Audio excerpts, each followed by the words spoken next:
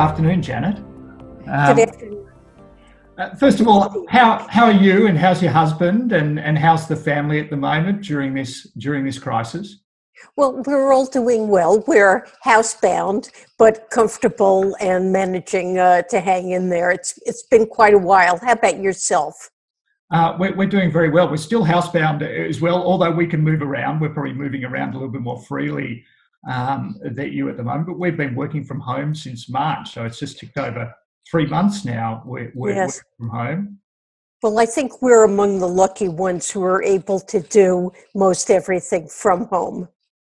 Uh, we're very we're, we're, very lucky. We're in the services uh, businesses where we can where, where, we can do that. You know, it has been a struggle for many other people uh, absolutely around, around the world.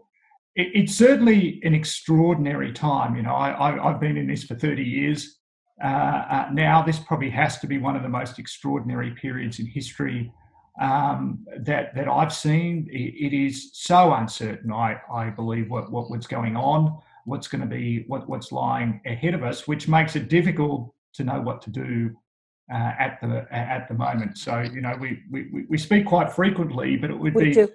It would be really good to get get get some of your views um, at the moment with, with what's going on because this is evolving. Absolutely, yes. I'd be glad to share my views as always, and um, it, it's highly uncertain times.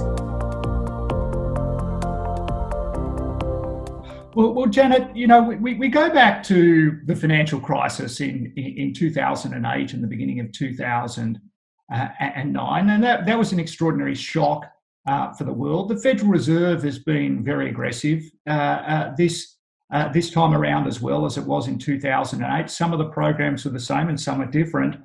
What is similar to 2008 9 and, and what is different about this crisis?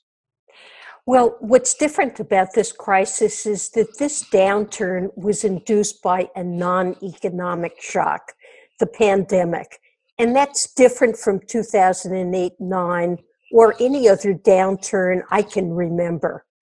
Um, 2008 9, global financial crisis induced by deep seated problems in the economy and the financial sector incredible leverage, weak banking system, house price bubble, rapid credit growth, weak underwriting standards, over indebted households.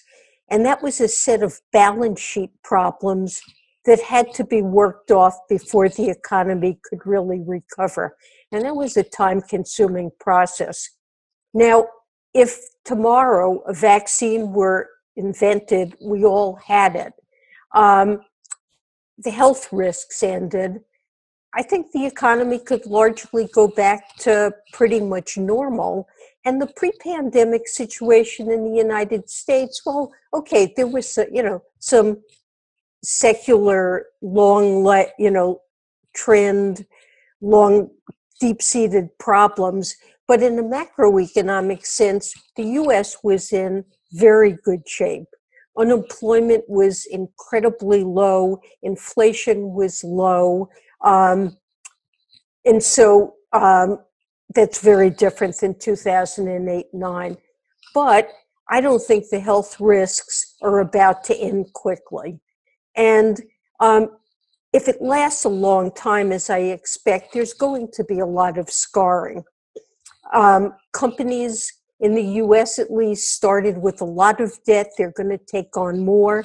So balance sheet repair for them is going to be necessary. There are likely to be significant corporate failures. And that points to weak investment and employment hiring coming out of the uh, going into the recovery. And households are going to suffer damage to their finances. They've been well supported in the United States so far, but I doubt that's going to be uh, the case going forward. And so they're going to need to restore financial buffers. And, you know, the government has been doing a lot to support the economy. I hope some of that will continue. But the government, too, is going to end up with a lot more debt, and that will likely diminish future fiscal flexibility. Uh, Janet, would you maybe able to explain uh, to, to our viewers in, in some simple terms, you know, what has the Federal Reserve done in this crisis? What what tools have they they they they implemented? They, we've discussed they've certainly been very aggressive on a number of fronts, and they've done a few things they've never done before um, in this crisis. So maybe just in simple terms, sort of explain what the Federal Reserve's been doing. Absolutely, they've acted quickly and forcefully. And they fall into two categories monetary policy and emergency lending. On the monetary policy side, they very quickly lowered their overnight short term interest rate target, the Fed funds rate, effectively to zero. And they essentially promised that it would stay there for a long time. So that's also helped to bring down longer term rates, the market's understanding rates will stay low for a long time. They also began essentially unlimited asset purchases. At first, they were mainly oriented toward market functioning, which was very highly impaired. But in about two weeks, starting in mid March, the Fed bought almost $2 trillion worth of assets, treasuries, mortgage backed securities. Um, they saw that there were a lot of. Could I just ask, why were they so aggressive in March? You know, two trillion is an extraordinary amount to buy in such a short it's, period of time. You know, why were they so aggressive in March? Well, what they found was that the Treasury market was almost not functioning. And part of that, I think, reflects the fact that there was some hedge funds that had taken on huge amounts of leverage, doing trades that they're called basis trades, arb- trying to arbitrage out tiny um, differences in return between the Treasury's futures and spot markets. And they had leverage of 50 or 100 to 1. This sounds and, like long-term capital management all over again. Uh, don't people ever learn the history lessons from history? It was exactly long term capital management. It was exactly that. So something happened. In long term capital management, you remember Russia defaulted and suddenly normal, normal uh, pricing relationships in markets began to break down, liquidity broke down. So you had these hedge funds and reportedly also some um, foreign sellers of treasuries that began massive sales of treasuries. And the dealers weren't able to support that. They really didn't have the balance sheet to support it. So the Fed began to intervene in repo markets. That wasn't enough. They opened a facility for the broker dealers um, to be able to borrow from the Fed. That wasn't enough. And they ended up realizing they had to go in there and buy up all that stuff the hedge funds were selling just to restore market functioning in treasuries. And, you know, if the treasury market doesn't um, work in the United States, it's the basis for pricing and functioning in all the other financial markets. So they had to get that working. And they, I mean, $2 trillion, that, that's really a lot. That's not, that's not a small amount of money. And so that was a massive intervention. Um, the Fed also reactivated swap lines with foreign central banks, something it did in 2008 9 because banks all over the world that do business in dollars found themselves um, under pressure. Um, then, in addition to that, they saw stresses developing that were very similar to 2008 and 9 there were runs on the money market funds. There had been some, ref- which also happened in 2008 and 9. Um, some changes had been made, but not enough. And in particular, um, the money funds were allowed to put in place gates and fees. And as their liquidity fell, um, investors began to worry that those um, gates might be erected and they decided, let's get out before that happens. And before you knew it, um, I mean, I met with corporate executives who said it was the scariest thing they'd ever seen because they rely on those money market funds um, to sell commercial paper to, normally maybe three month uh, commercial paper. Um, essentially, liquidity there dried up and you could barely borrow overnight. Now, the Fed had figured out in 2008 and 9 what to do to restore um, functioning of money markets and um, the commercial paper market.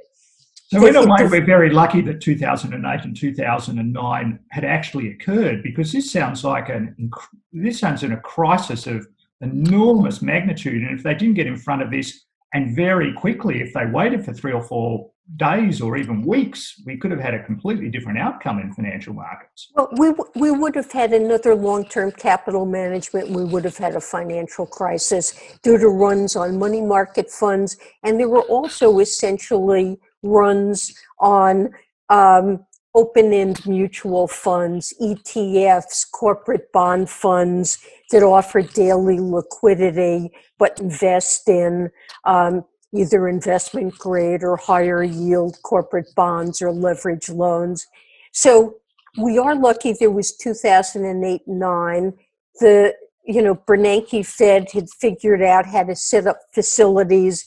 Everybody had the term sheets in their drawers, and they essentially pulled those out and were able to get them up and running in a matter of days. But they did they did need support from the Treasury. So these are not purely Fed operations. They require the consent of the Treasury and in many cases um, some backing, some fiscal backing to take first losses from the Treasury. That cooperation's been in place. So they did almost everything, almost every facility that was invented for 2008 9 is, is back in place. And that wasn't enough. So they did more and they were very inventive and they've come up with new facilities. They um, developed facilities essentially to take the tail risk out of markets where corporations um, borrow, investors um, invest in uh, corporate bonds and loans, um, the municipal debt markets. So there's a primary uh, and secondary corporate credit facility. They're out buying shares of ETFs and um, bundles of bonds that meet their criteria. They're willing to buy bonds um, new issuance of bonds of larger corporations. And they've gone even further. They've set up a facility, they call it their Main Street lending facility, that um, they'll, they'll take 95% essentially of loans made by banks to businesses that are um, over 500 employees, but not large enough to access capital markets on their own. And that's brand new. The Fed has never done anything like that. And they're also lending to state and municipal governments, which is a line I never thought they would cross. I had a um, colleague who's advising the governor of California um, called me uh, about three days before this facility is set up. They said, you know, the, she said, you know, we really need support to issue bonds. Uh, spreads have really spiked. Do you think the Fed could do anything about it?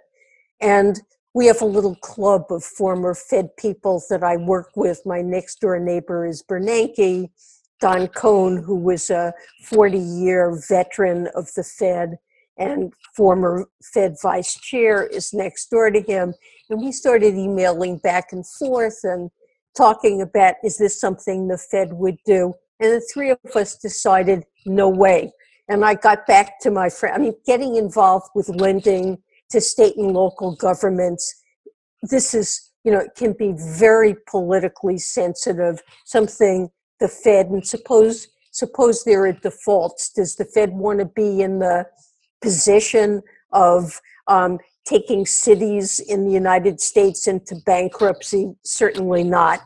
Um, so I told her no way. And two days later, they announced the municipal liquidity facility that does just that. So they've really pulled out all the stops, and I think things have improved considerably. So we've got a health crisis causing an economic crisis, but we don't have a financial crisis. Janet, a lot of people are talking about a shape of the economic recovery at the moment. I think we've got most letters of the alphabet. We've got W's, we've got U's, we've got V's. I think we've got the Nike swoosh people are talking about as the shape of the economic recovery. Do you have a view whether or not we are likely to get a sort of V shaped recovery or something that looks close to a V shaped recovery? Are we likely to get a depression on the other end of this spectrum? Or is it really too difficult to call at the moment what the shape of the economic recovery will be until we know more about the virus and how long it's going to last for? Well, it's highly uncertain, and what happens definitely depends on the course of the virus and um, vaccines and treatments. But if I had to choose one of those options you gave, I'd choose swoosh rather than V. And the thing about a swoosh is it starts off looking like a V. You have a fast collapse followed by a rapid rebound. And I think we are seeing, at least in the United States, um, well, certainly a huge plunge. Um, 5% um, negative growth in the first quarter. Um, most forecasters for the second are looking for something in the order of 30 to 40 percent GDP growth negative at an annual rate. Shocking. But probably May was the bottom, and we're seeing quite a few indicators suggesting an impressive recovery. Um, surprisingly positive employment report in May, and also a strong rebound in consumer spending there have been enormous fiscal transfers and huge monetary support. And in other countries also, we're seeing a bounce back with a lot of support. So um, states are now um, beginning to end their lockdowns. We've seen people who are on temporary um, temporary unemployment spells um, go back to work. And so it's beginning to look V shaped. But swoosh is where I go because I don't think that's going to continue. I think we're going to see solid growth in the second half of the year, but um, I'm expecting that over the course of the year as a whole, output in the US is going to decline by something in the 5 to 8% range. And then I think we'll get growth after that. But to get back to where we started, I believe will take a number of additional years. And I mean, there are a number of reasons for that. Um, one is that um, there's just going to be, as I mentioned before, um, a lot of corporate failure. Um, there'll be a need for social distancing uh, for a long time um, we're beginning to see a resurgence in the United States of infection. There's um, all too high a probability of a second wave um, that's going to come next next fall.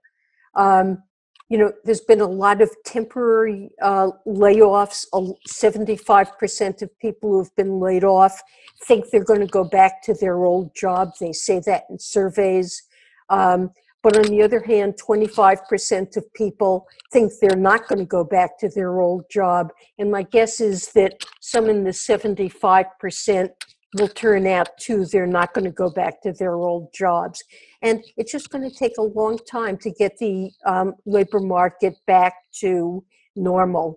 Um, also, there's the issue of fiscal support. So, there's been a huge amount of fiscal support in the United States. There are individuals who aren't getting it, so there are pockets of pain. But on average, unemployment compensation is very generous. Um, the replacement ratio, namely the share of your percentage of your um, pre pre layoff income that people are getting back, it averages over 90%. And for low income workers, it's more than 100%. at this point. So that's extremely generous. There were $1,200 checks sent out to most uh, individuals. But a lot of that, there's a kind of fiscal cliff. A lot of it ends this summer. The expanded unemployment payments end at the end of July. Congress is talking about doing more, but who knows what's going to happen. So um, I think there's a lot to retard a recovery, and I expect a swoosh, um, not not a V. I wish we'd see a V, but I don't think so. Well, that, that that's very sobering, uh, Janet, and somewhat disconnected with what the equity markets uh, are doing at the moment. You know, there's 20 million Americans who are unemployed at the moment, but, but one of the statistics that it doesn't pick up is the people on the paycheck protection program. So there's a lot of medium-sized and small businesses who are being paid for paid paid by the government to keep their employees on the payrolls at the moment, and there's a cliff at the end of that program. So, and we have them in Australia, and they have them in the UK, and they have them in Germany. So the unemployment statistics still don't tell you the real level of unemployed. There are people who are prolonged in the economy who just assume that they're going back to work because they're being paid for by the company, which is paid for by the government. And these, a lot of these companies don't have any intention of keeping some of these people on their payrolls once the government support disappears. I think you're absolutely right about that, that that was a condition of being eligible for that program.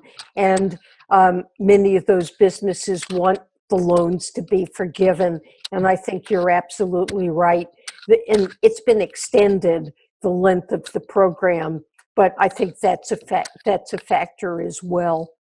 So, um, you know, it, it's highly uncertain. Things could come at bit, you know, better than I'm expecting. But um, well, we're seeing some some resurgence of employment.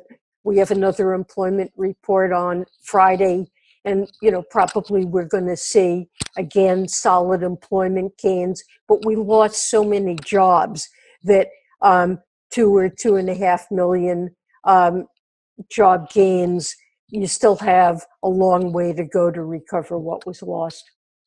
And, and Janet, what, what are the risks that most worry you at the moment with this situation? Well, I worry about the permanent job loss and um, how those people are going to get reemployed.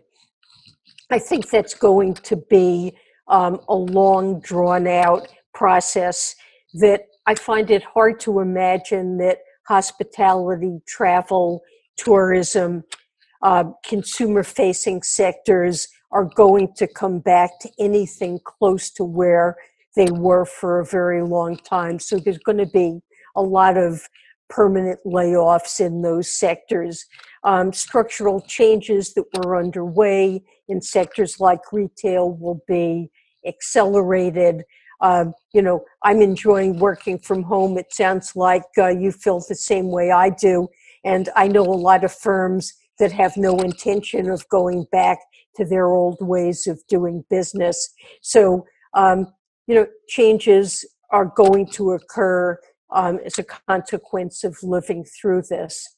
Um, so I'm worried about the workers, their um, attachment to the labor market, I think there will be people who um, don't come back and are permanently sidelined. And I'm very worried about the degree of fiscal support which we truly um, need to keep the recovery going. And I don't know if that's going to be there, but I I've worried about a lot of stuff. Hamish, what what are you what are you thinking about? What's on your worry list? Well, there's actually a lot on my worry worry list. The first thing I would say is, Janet, there are so many known unknowns at the moment. You know, there are so many issues that we know about, but we don't know how they're going to play out. You, have highlighted many of them about are these jobs coming back? What are the effects there? We don't know the duration of this pandemic. There are so many uncertainties about the science behind the virus and heading towards a cure. We're reopening economies, I would say, too early. Uh, from a from a medical point of view, we're seeing a resurgence, um, particularly in the United States, the emerging markets. It appears to be out of control. Probably the number one issue on my mind, and we can talk about this, is the the financial markets because of the aggressiveness of the Fed, have literally priced in an unlimited put option um, to the Fed. They, they go, whatever risks come up, the Federal Reserve is going to be there. But there are limits to what the Federal Reserve can do, particularly in the emerging markets. You, you, mentioned some swap lines have been put in place. It was a very inventive swap line that hasn't been drawn down yet, but it was the where they could repo the treasuries held at the, the New York Fed. If an emerging market runs out of US dollar collateral that it could that it could uh, repo in order to get dollars. I imagine there's many countries in the world that the Federal Reserve just is not going to take the credit risk in a standard swap line uh, with. And if an emerging market can't get access to dollars via the Fed and then has to start liquidating any foreign assets that they have, I think that's near the end of the Fed's capability to, to, to step in. And markets just aren't seeing that, that in a true crisis in emerging markets, there's only so much a central bank can do, and it really comes down to sort of a treasury operation on a global scale.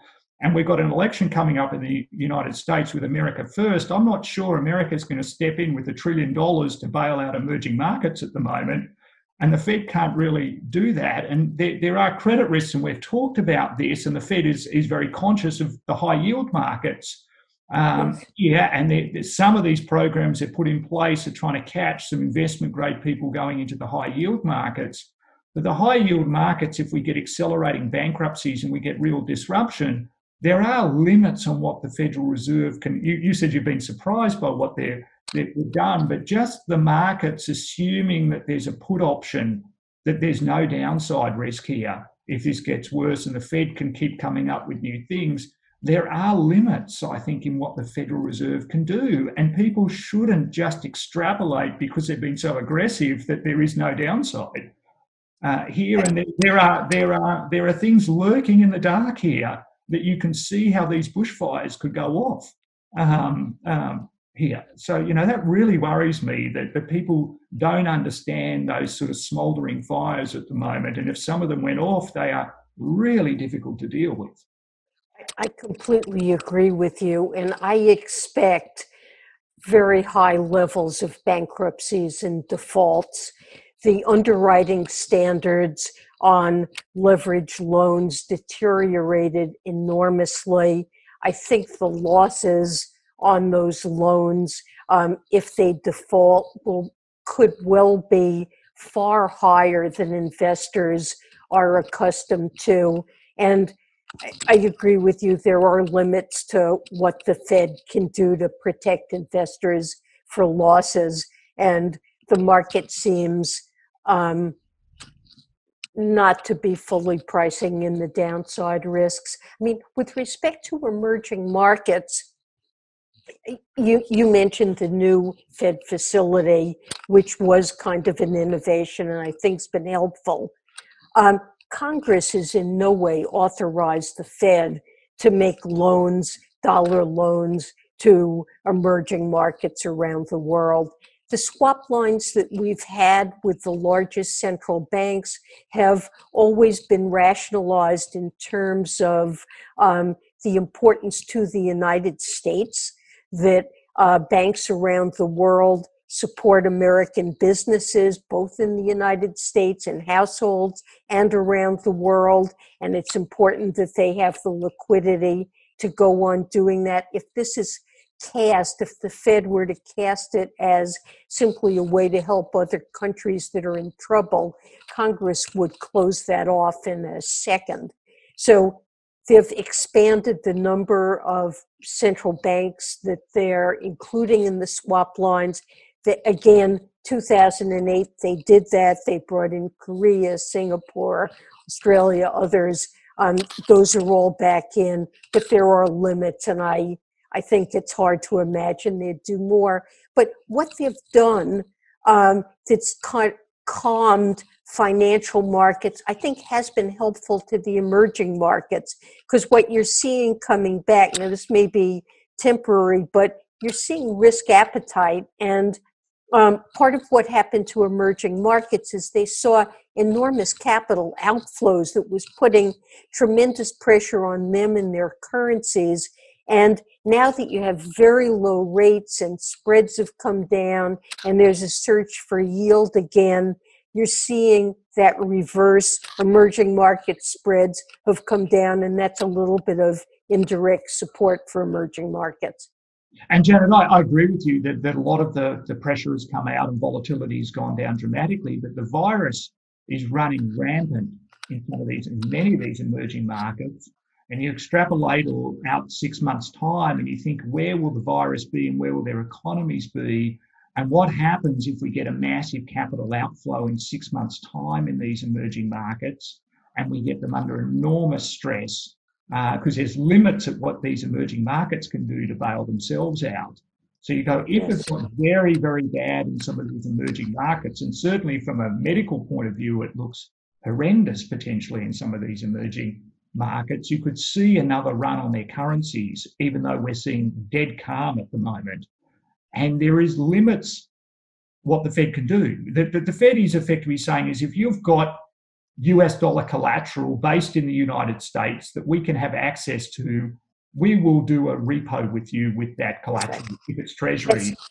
But these there's a limit. If they run out of collateral that's acceptable to the Fed that's based in the United States, they're not going to do an overnight swap line just on the basis of swapping their currency with some of these exotic emerging markets, I think you're right. The Congress would have a heart attack. That is unsecured lending. Yeah, no, the the Fed's not allowed is not allowed to do that. And I, you know, again, I I've been surprised by things the Fed has decided to do, but I would be very surprised um, if if they went further with emerging markets. In you know, in part because this was a virus that affected the fi- you know the economy and the financial system congress has been very supportive of the fed stepping in to help to keep credit flowing in a way that they were not in 2008 and 2009 it, in in the earlier crisis um, a lot of people felt banks were responsible in the financial sector for what was happening and they were not supportive of um, Fed efforts to try to contain the damage to financial markets. This time, there's a lot of support for the Fed acting, but um, still limits. Uh, Janet, many people are focused on the scale of quantitative easing and the scale of fiscal deficits. I think America's maybe going to run a $4 trillion deficit this year. Uh, the Fed has already expanded its balance sheet, I think, by three trillion uh, since since the end of February. Maybe it's more uh, than that. They're expanding every day, and people say this in, is inevitably going to lead to inflation. Um, here, this this printing of money on this scale and running very large deficits um, uh, here, and they talk about the Weimar Republic and, and and other factors. How concerned are you about inflation and could we see higher interest rates? Or, or what's your view on that topic at the moment? So, I'm not at all concerned about inflation for, let's say, a time horizon of two, three, four years during which the economy is is recovering. Um, I think we're going to need very low interest rates for a long time. Inflation has been um, is, is under downward pressure. This is both a supply and a demand shock, but the decline in demand, which tends to lower inflation, um, is much larger than the um, decline in supply, which creates isolated upward pressure in some sectors. And you've already seen, um, in, at least in the United States, inflation um, numbers that are extremely low. Um, so I'm not worried about inflation at all in the short term. Um, if the economy recovers, now it gets to be a different story because we get to the point where the Fed may need to raise interest rates to stop demand from outstripping supply. And there's nothing about having bought all those assets. Often people think, okay, they bought all those assets, trillions of dollars worth of assets, and it, it'll continue. Um, and they created all those bank reserves, and that's money, and money causes inflation. But that's not how it works because um, we think of money, and you know, this is what we're taught in our economics classes, is that money is an asset that pays no interest. But bank reserves do pay interest. They pay whatever interest the Fed decides is appropriate. At the moment, the Fed's decided zero is appropriate. But when the time comes when higher interest is appropriate, that stuff you call money, those reserves that now pay zero, they're going to pay interest. The Fed is going to raise the interest rate. They're going to become more like debt and not like what we think of as money and it's not going to cause inflation. It's so a really think, interesting point because this is being done around the world. It's not just the United States. And there may well be some economies. It was an innovation during the financial crisis of paying interest on excess reserves. You used to not pay interest on excess reserves, and that really turned the sort of excess reserves into a financial instrument. It really became a short term treasury uh, or a Fed treasury may, maybe would be a better description right. of, of, it. But there, there may be countries in the world who are on this exercise and then decide they're not going to pay any interest on their excess reserves. They may, they may actually. Is there a risk that some economies are not in the position that the United States is in here? So I think that's really the question, but I believe that's more of a political question than it is an economic question independent central banks with inflation mandates, when they see that higher interest rates are needed to contain inflation, they raise interest rates. And that's it, end of story. But the political piece comes in because we're going to have an enormous federal debt. And when the Fed decides to raise interest rates, that's going to increase the interest burden on that debt. And it's going to begin to put some real pressure on the government budget and the government will have to raise taxes, cut spending, do painful things as interest payments get larger. At the moment, interest payments are very, very low, and they're going to stay low as long as interest rates are low. And um, you do you think say, that means that because of that that fiscal fiscal contraction you will get out on the budget from increasing interest rates, that effectively the level of neutral interest rates will be much lower in the future because they don't have to lift interest rates very much to put the brakes on the economy because of the level of government debt? Well, that's a very interesting mechanism, Hamish, that I hadn't really thought about, but I think you're right that as they start raising interest rates, it has an impact on fiscal policy. It has to become more contractionary. And if that happens, um, yeah, it means that there's less need to raise them to very high levels. So, I mean, that's an interesting idea, and I think it's right. But, you know, we're generally, we were very worried about secular stagnation, weak spending in the economy, a lot of saving, weak investment, creating an environment in which there would be a prolonged um, reason for interest rates to stay low, low inflation, too low inflation. And um, I think the pandemic has just intensified that problem. So I frankly, my baseline, I, I don't see a need. I don't think we're going to go back to a world anytime soon where interest rates need to be high to contain inflation. So this problem of putting the government in a bad situation, it, it may not arise. That, you know, life is uncertain. And sometimes central banks lose their independence when the government decides they've really got problems and they got to go to that agency down the street that um, forced them to hold interest rates low and buy the debt they issued. And that's how you end up with very high or hyperinflation. I don't think that's going to happen in the United States, but it's that political piece that is where the concern would be. Janet, if people have been listening, they may be a little bit depressed so far in the conversation we're, we're having. Obviously, we have these conversations and we just discuss it as we see it. Um, but you know, it's not all negative in in, in terms of what's what, what's going on in, in the economy. If you take a longer term uh, view, what what are the things that that you're most optimistic about uh, at, the, at the moment? Maybe just to round out on some positive side of things rather than all this doom and gloom. You bet. Um, I'm optimistic about progress on vaccines and treatments. Um, we've got a very inventive scientific community that's very hard at work. Um, what I hear about vaccine development is very positive, and so um, conceivably late this year early next year, we'll have vaccines that are going into production. Um, I've been pleased that um, Congress and the administration have supported a very active role for fiscal policy. I'm worried about what's going to happen this summer, but I'm optimistic that there will be um, continued support.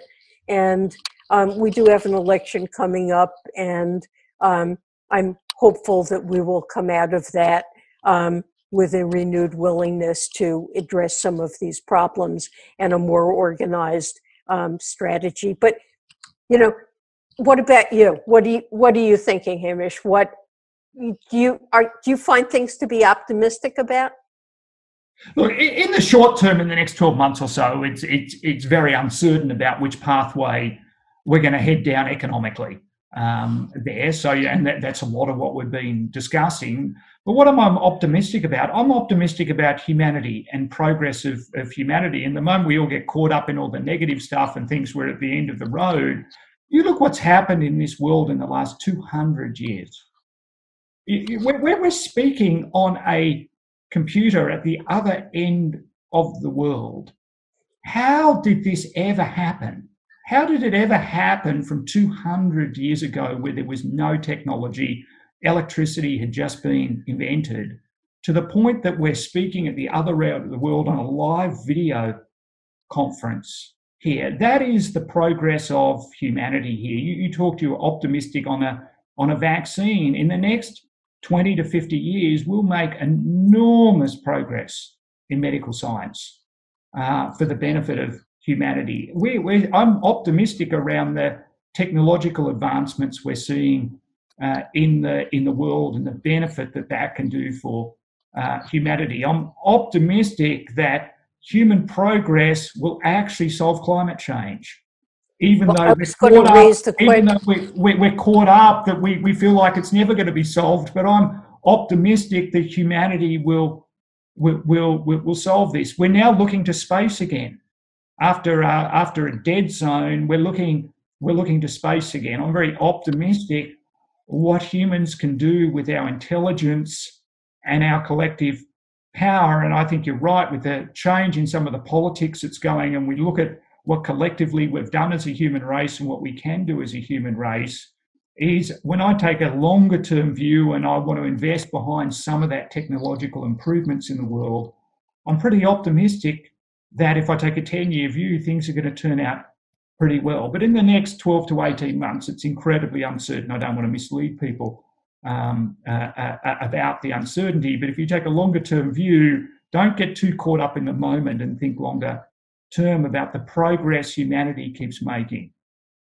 So, as you think about this in terms of portfolio and investment strategy, is your focus on um, the long term, or uh, do you see a need to position yourself uh, for the shorter term, given what's happening? What what you're thinking about investment strategy? We're running a very conservative position in the portfolios at the moment. We're holding a lot of cash, very defensive. We're very underweight emerging markets uh, in the portfolio, but at the same time, we've got some very large positions in large technology enabled growth companies as well. So, whilst we're being conservative in the short term, we've got our eye on where the ball's going in the longer term uh, as well. So, we're, we're, we're, we're kind of bifurcated. We're doing both, Janet, at the moment. We're, we're, we're, we're keeping investments that are very advantaged in the long term and supported by technological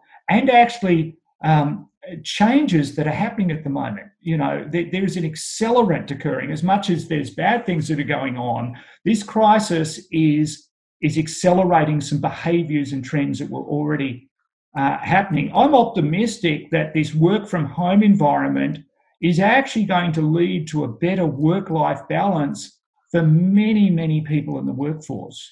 And it would have never happened without this crisis because business wouldn't have taken the risk to try it because everyone would have been skeptical about it. I completely agree with you, and I think people have been really surprised at just how well it's working, and a lot of technology is um, developed around that that I think will change the ways in which businesses um, are conducted in, in, a lot of different dimensions. Well, Janet, we, we may wrap it up. Firstly, on behalf of Magellan, thank you, thank you so much. That that was incredibly uh, comprehensive to to get all your, your your insight. But probably with what's going on, we really hope everyone around you stays safe in, in this environment. That's the most important thing. And I know you're being extremely careful at, well, at home. And the same to you, Hamish. Stay safe, stay well. Um, hope we get through this and can continue to talk. Thanks, Janet. Much appreciated.